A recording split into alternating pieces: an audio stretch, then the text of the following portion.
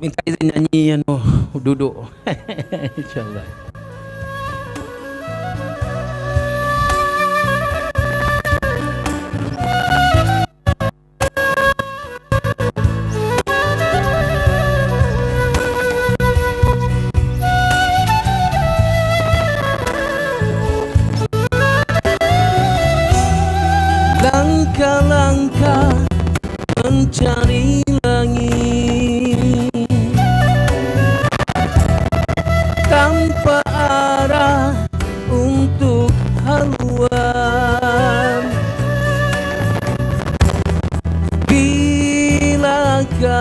berakhir dan tersenyum semula menaiki kedatanganmu.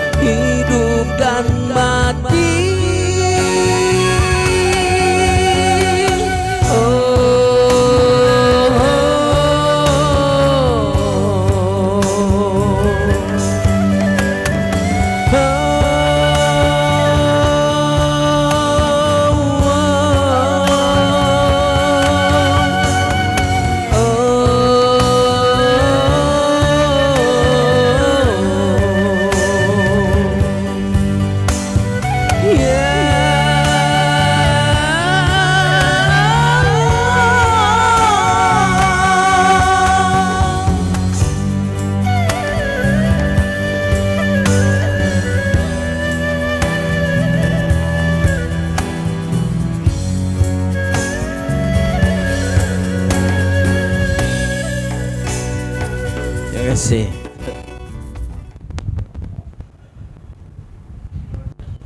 Allah uh, tabarakallah uh, satu lagu yang begitu menusuk kalbu ya ustaz ya Masya Allah. tadi uh, saya cuba nak nyanyikan lagu uh, enter tadi tapi saya abang kat depa pitching very high pitching Masya tinggi sangat Asal Masya- lagu ni lagi tinggi. Ini Lagi- saya dah turunkan satu ton. Oh. Hmm, tubuh masih tinggi lagi. Masya Tapi Allah. dulu muda, muda boleh lah. Sekarang ni dah dah dekat-dekat senja dah ni. Masya Allah. jadi yang tu daripada album yang pertama ya ustaz Itu album pertama. Ya. Album pertama dulu uh, dah pastilah pasal dulu rock kan. Okey. Uh, jadi muziknya tu lebih kepada gitar. Uh, sekarang ni kalau kita apa ni amati betul-betul eh apa muziknya tu lebih kepada alat apa ni dipanggil seruling. okey Uh, yang meniup seruling tu pun bukan calang-calang orang tu, Muhammad Ram.